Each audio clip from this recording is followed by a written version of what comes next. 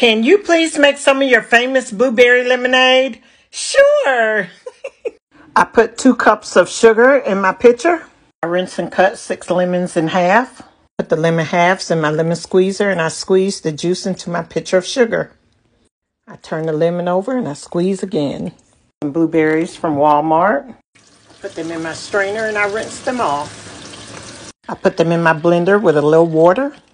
I blend. I put the strainer over the pitcher of lemon juice and I pour the blueberry juice in and I strain it. I add filtered water. I stir until the sugar is dissolved. Ooh, blessing. Thank you, Michael. You're welcome.